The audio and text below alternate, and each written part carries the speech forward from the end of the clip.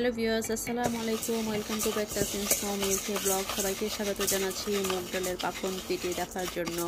তো ভিউয়ার্স, আজকে পাকন পিঠে বানানো হবে আর আমি কীভাবে বানিয়ে থাকি তাই আপনাদের সাথে শেয়ার করব।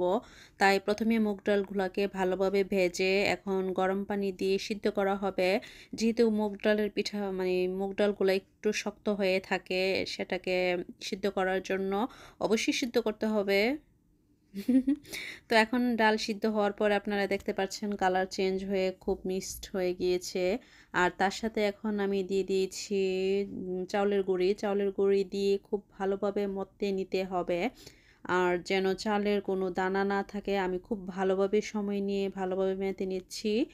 আর চুলার কিন্তু আঁচটা কমিয়ে নিতে হবে। যেহেতু মুগ ডালের পিঠে চাউলের গুঁড়ি দিয়ে করা হবে, যদি চুলা অন রেখে আই মিন চুলার কমিয়ে চুলার উপরে রেখে গুঁড়ি দিয়ে ময়ন করা হয়, তাহলে ময়নটা খুব ভালো স্মুথ হয়, পিঠা ফেটে যায় না। আর যেহেতু এটা ডাল দিয়ে করা হচ্ছে, যদি ময়নটা খুব ভালো মসৃণ না হয়, সেক্ষেত্রে যখন ডিজাইন করতে যাওয়া হয়, সেক্ষেত্রে পিঠাটা ভালো হয় না।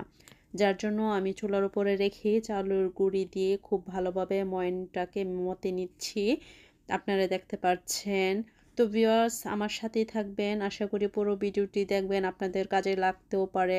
যদিও আমি জানি আমার থেকে অনেক ভালো এক্সপার্ট লোকরা আছে মানে ভিডিও আছে রেসিপি আছে। হয়তো বা কারও কাজে আসতে পারে, কারণ বলা তো যায় না কার রেসিপি কার মাথায় ঢুকে। যদিও আমি আপনাদের সাথে রেসিপি শেয়ার করতেছি না, আমি কীভাবে পাকন পিঠা করে থাকি তারই সামান্য একটা অংশ আপনাদের সাথে শেয়ার করতে চেষ্টা করছি খুব ঘরোয়া পদ্ধতি এবং খুব সিম্পল ওয়ে আশা করি আপনাদের ভালো লাগবে। আর যদি ভালো লাগে, তাহলে আমার চ্যানেলটি সাবস্ক্রাইব করে পাশে থাকতে পারেন। চাইলে পাশের আইকন বেলটি অন করে দিতে পারেন, যেন পরবর্তী ভিডিওর আপডেট আপনারা সহজেই পেয়ে যান। আর যারা আমাকে সবসময় সাপোর্ট করতেছেন, আমার পাশে আছেন, তাদের প্রতি রইল অসংখ্য ভালোবাসা আর শুভেচ্ছা। আপনাদের ভালোবাসার জন্য ইচ্ছে করে মাঝে মাঝে একটু একটু ভিডিও করি। শীত মানেই হচ্ছে বাহারি পিঠার সমাবেশ। আর শীতে আমরা সাধারণত বাঙালিরা বাহারি রকমের মজাদার পিঠা খেয়ে থাকি। আর অনেকই কম বেশি আমরা পিঠা খেতে এবং বানাতে দুটোই পছন্দ করি। আর এখন যেহেতু শীত চলে এসেছে, আমরা সবাই পিঠা খেয়ে থাকব। তো ভাবলাম আমি আমার মুগ ডালের পাখন পিঠা কীভাবে করে খাই তা আমি আমার বিয়সদের সাথে শেয়ার করি। আশা করি অনেকের হয়তো উপকারে আসতেও পারে। আর যদি কারও উপকার আসে তাহলে আমার সার্থকতা, আমার ভিডিওটি শেয়ার করা সার্থক হবে।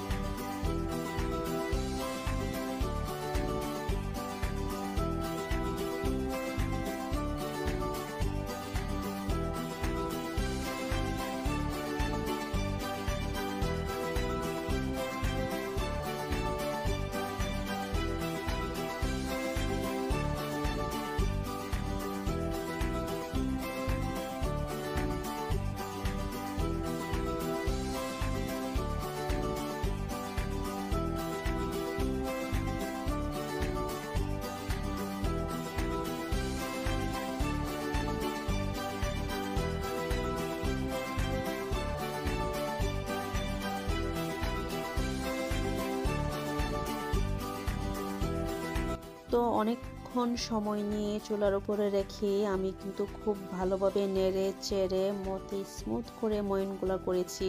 আর এখানে তিন ভাগে করে আমি, আপনারা দেখতে পাচ্ছেন যে ময়নটা কতটা মসৃণ হয়েছে। তো পাশাপাশি এখন আমি শিরার জন্য খেজুরের গুড় দিয়ে শিরাটাকেও বসিয়ে দিয়েছি। যেহেতু মুখ ডালের পাখন পিঠে, মুগ ডালের পাখন পিঠেটা আমার কাছে মনে হয় গুড়ের শিরাতে খেতে খুব বেশি টেস্টি হয়, বেশি স্বাদ পাওয়া যায়।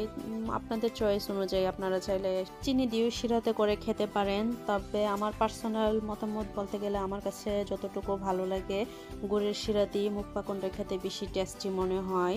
তো এখন দেখেন আপনাদেরকে একটা পিঠা করে দেখালাম। তা হচ্ছে সূর্যমুখী। আপনারা আপনাদের ইচ্ছে অনুযায়ী পছন্দ মতো ডিজাইন করে নিতে পারেন।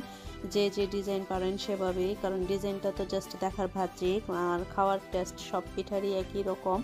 আপনারা আপনাদের পছন্দ অনুযায়ী ডিজাইন করে নেবেন। তবে এই ডিজাইনগুলো কীভাবে করে থাকি তার আপনাদের সাথে আমি দেখাবো। যদি কেউ ডিজাইন না পারেন আর কারও কাছে যদি ডিজাইন করতে খুব বেশি কঠিন মনে হয়, তাহলে এভাবে করে ট্রাই করতে পারেন। আপনাদের কাছে সহজ হয়ে যাবে। আর ডিজাইন কিন্তু যার যার পছন্দ অনুযায়ী, যার যার আর্ট অনুযায়ী যে যেভাবে আর্ট করবে সেই ডিজাইনই হবে।